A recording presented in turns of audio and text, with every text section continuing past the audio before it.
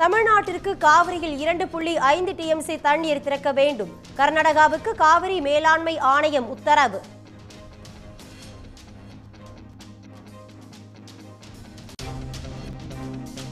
சேலம் அருகே தேசிய நெடுஞ்சாலையில் ஆறு போல ஓடிய மழைநீர்.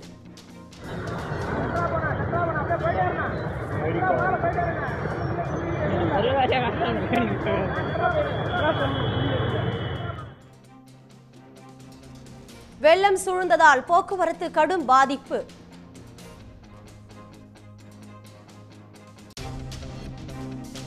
தேனி தென்காசி நெல்லை குமரி மாவட்டங்களில் நாளை மிக கனமழைக்கு வாய்ப்பு. ஐந்து மாவட்டங்களில் நாளை மறுநாள் மிக கனமழை பெய்யும் என்று அறிவிப்பு.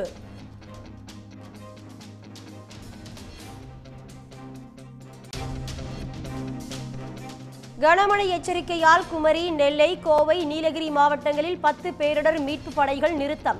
ஆழ்கடலில் மீன்பிடிக்க சென்றுள்ள மீனவர்கள் கரை திரும்ப அறிவுறுத்தல்.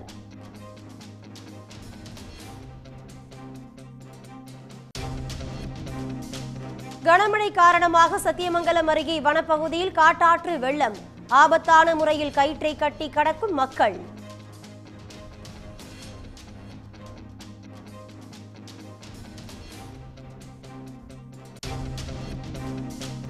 தமிழர்களை திருடர்கள் என்று பழிப்பதா என்று பிரதமர் மோடிக்கு முதலமைச்சர் மு ஸ்டாலின் கண்டனம்.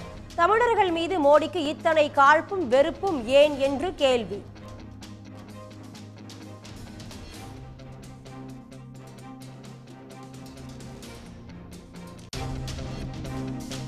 மேற்கு வங்க முதல்வர் மம்தா பானர்ஜியை தரம் தாழ்ந்து விமர்சித்த விவகாரம். முன்னாள் நீதிபதியும் பாஜக வேட்பாளருமான அபிஜித்திற்கு ஒருநாள் பிரச்சாரம் செய்ய தடை.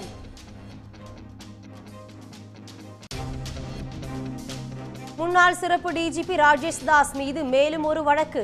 முன்னாள் மனைவி பீலா வெங்கடேசன் வீட்டிற்கு சென்று தகராறு செய்த புகாரில் நடவடிக்கை.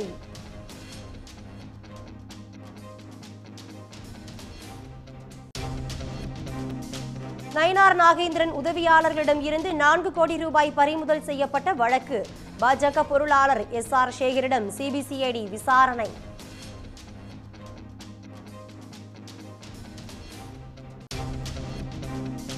ஐபிஎல் கிரிக்கெட் தொடரில் பிளே ஆஃப் சுற்று போட்டிகள் இன்று தொடக்கம். முதல் தகுதி சுற்று போட்டியில் Kolkata Knight Riders Sunrisers Hyderabad அணிகள் பல பரீட்சை. உடனுக்குடன் செய்திகளை தெரிந்து கொள்ள சன் நியூஸ் பெல் ஐக்கான கிளிக் பண்ணுங்க.